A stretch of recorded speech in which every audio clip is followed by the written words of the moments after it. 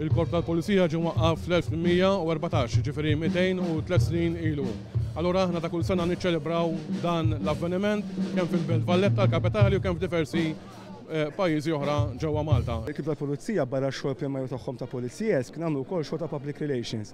Fejn barra ma' numru ta' wirjiet f'matul is-sena f'ġo skejjel u waqt attivitajiet oħra soċjali, llum nilħqu l-milja tiegħu waqt l-attività tal-Ġimgħa tal-Pulizija, tal-Anniversarju tal-Pulizija, fejn nibdew illum il-Belt inkomplu ħa nkomplu Wied il-Għajn immorru Tas-Sliema u ħa nkunu wkoll Buġibba u kif ukoll Marsaxlforn Għawdex. Ħa jkunu l-Wied ħa jkunu ta' Sitju ta' ubbidjenza u aġilità bil-klieb, għamlu session żgħir ta' tfittxija żgħira bil-kelb u wkoll kanaw kif il-kelb jista' jgħin fl-arrest ta' persuna. Dan huwa tim magħmul minn 21 persuna b'kollox, inkluż jiena, u 20 raġel u mara, li jagħmlu wirja ta' drill mingħajr ebda ordni.